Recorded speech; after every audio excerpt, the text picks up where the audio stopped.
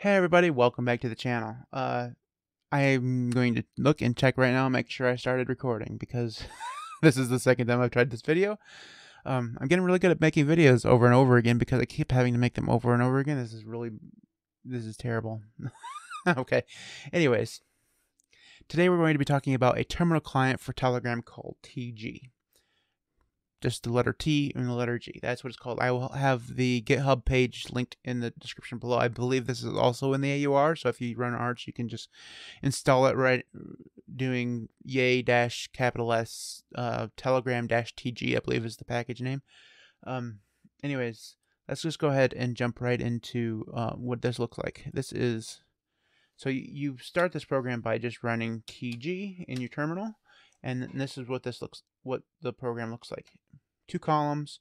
On the left hand side you have your chats and you navigate these with Vim bindings for the most part. I'll talk about one that doesn't work inexplicably in a minute and you can go into your chats using L which is or you can also use the arrow keys if you're one of those heathens that use arrow keys. Um, but you can jump up and down using uh, J and K and it's very simple to navigate with your Vim keys. Now, if you want to go to the bottom of your chat, let's say you've navigated all the way up here somewhere, and you know you're just uh, you know just reading along, and then all of a sudden you want to go to the bottom. Shift G works, or you know capital G goes to the bottom. Now, if you're back over here in the chats, and you want to go to the bottom, uh, you can't just hit Shift G I'm not sure why that doesn't work, but if you're at the bottom and you want to go to the top, you can press GG and that will take you to the top. So that's a little inconsistent, which bothers me. Um, but, you know, what can you do? And it's really weird because you can't actually go through and remap any of these keys. So at least as far as I can figure out, this is written in Python. So maybe you, if you know some Python, you probably could figure out how to do it. Um, if you want help, you just push the question mark uh, key and where you are in the program will determine what help you get. So if you're in the chat window, if you're in the chat list of chats, this is the one that you get. So it, you know, it, it shows you how to move up and down between the chats. You can move uh, up 10 chats, down 10, 10 chats by using capital J and uh, capital K.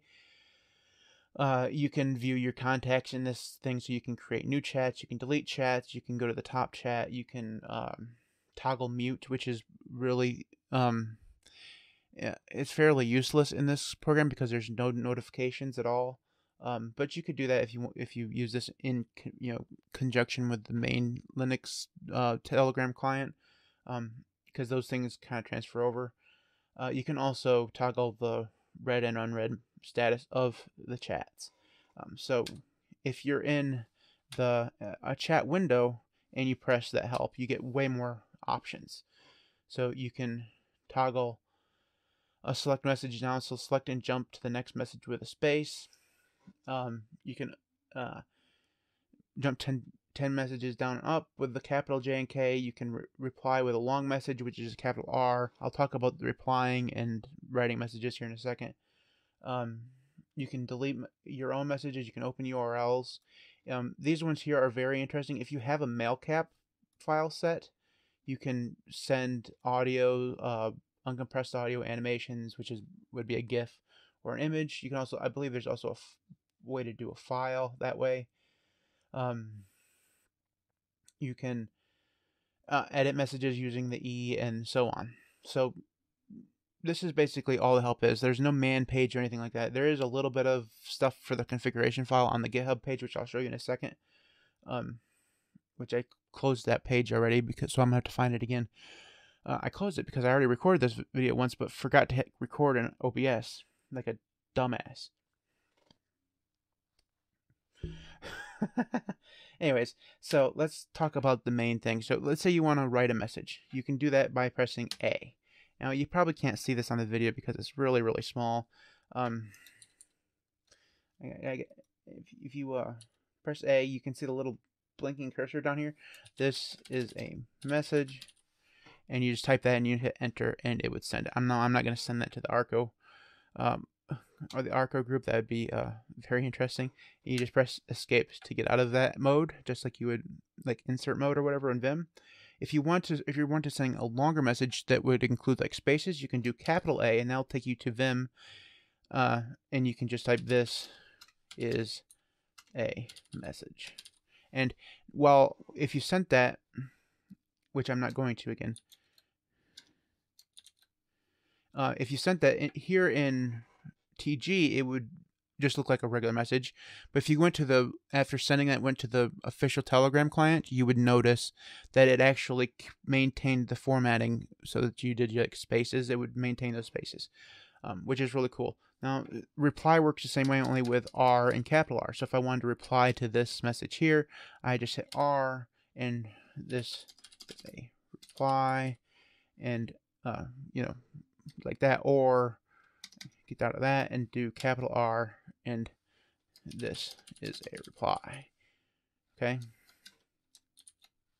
So that is very simply how you reply and send new messages. Um, overall, uh, why would you use this? So I just prefer Telegram in uh, the terminal just because I'm a nerd and I like terminal programs. I mean, if you ask, you know, Martin, my co-host on the Linux Cast, uh, he'll tell you that I look for everything I can u- use in the terminal just because you know that's the way I am. Um, does this have any specific advantages over using the other one? Not really. Uh, Telegram's not a huge like memory hog or anything as far as I know. Um, but if you want to be cool, use the tel- use the terminal program TG. Uh, and you know just be cool like the rest of us. That's where you should be. Anyways that was just a real quick video on a really simple program. If you liked it you'll want to hit the thumbs up button. If you disliked it hit the thumbs down button. Hit subscribe if you're interested in finding more open source and linuxy type content coming up there's going to be a video on my audio problems because i've been having some audio problems. Uh, i got a new audio interface and it's just not been kind to me in terms of you know actually working. So i'm using it now but it's not uh mm, you know it's it's not been something that i've been happy with so far. Anyway so uh thanks for watching and we'll see you next time